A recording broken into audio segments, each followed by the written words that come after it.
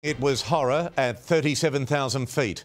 Passengers today describing the terrifying moment their flight from London to Singapore was hit with severe turbulence. Dozens on board the plane, including several Australians, were injured and one man was tragically killed. The Singapore Airlines Boeing 777 making an emergency landing in Bangkok, where the airport tarmac was transformed into an emergency department.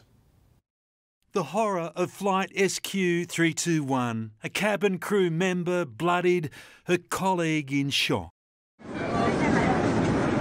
Down the aisle, it's mayhem. One man dead, dozens of passengers injured, including eight Australians. Tiandra Tukanen from Melbourne had been sleeping. When they put on the, uh, the seatbelt sign, pretty much immediately, straight after that, I was flung to the roof before I even had time to put my seatbelt on, unfortunately, because it was just so quick, they had no warning whatsoever. Some poor people who were walking around ended up doing somersaults.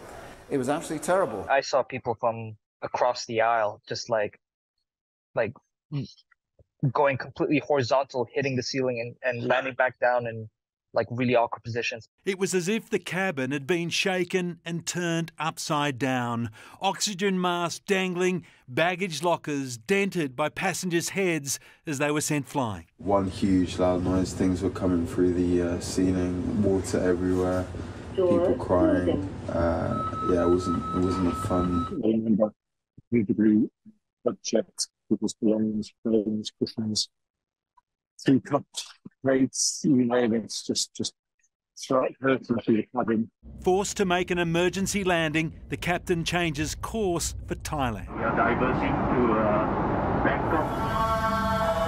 A stream of ambulances rush to the scene.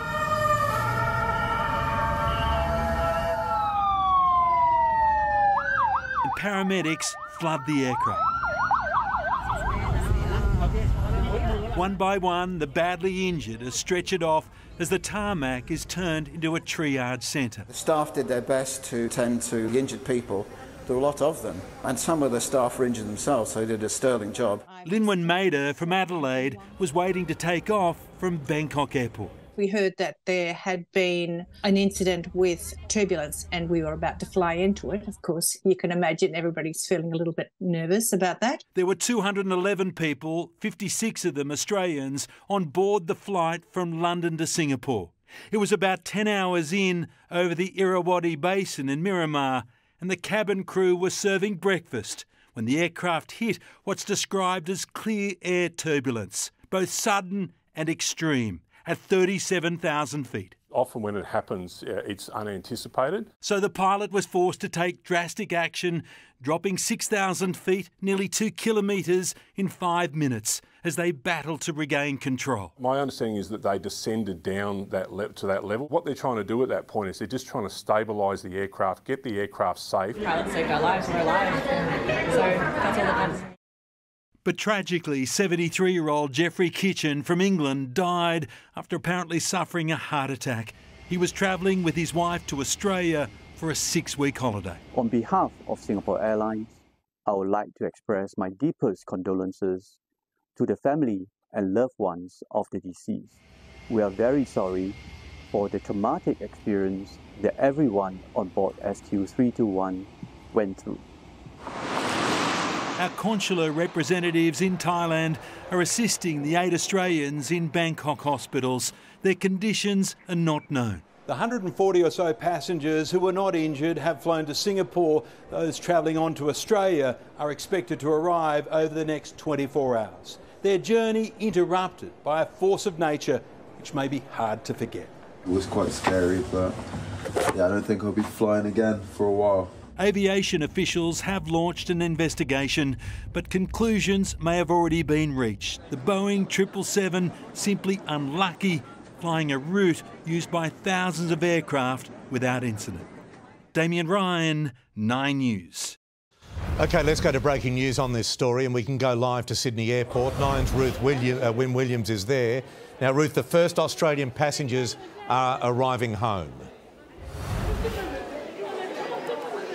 Pete, we've just met with some of them fresh off that flight uh, from Singapore, and you could see it written all over their faces. They are just There's a lot going on here at the airport tonight, but these passengers were just so relieved to be home. Listen to what they told us. It was hard to process what was happening. At one point, we were just sitting down, um, getting ready for breakfast, and then the next minute, we just felt the plane just drop immediately. Um, yeah, just suddenly, yeah, out of nowhere. Pure shock, I think, and fear. And is everybody all right, or what can you do to help? And um, you know, people's glasses were going in their shoes. My handbag went from one end of the plane to the other. Um, just I don't know what you can think in that time. When that happened, I was really calm, but it wasn't until I got off the plane and sat in that room, and since then I can't stop crying. Just the shock. Like yeah, the sheer um, emotion. And I was supposed to get a connecting flight to Port Macquarie this morning because I couldn't do that. And so my son has come to pick me up, and I said I have to stay with you tonight to see my other children just going to hold them close. Pete, you can hear there is a lot of celebration here at the airport tonight. There is so much emotion, but one thing all these passengers uh, do share is that uh, right now they are just pleased to have their feet right here back on Australian soil. Indeed, Ruth, thank you. Well, this event was certainly more serious than most, but research shows the skies our aircraft fly through are bumpier today than they have been in decades.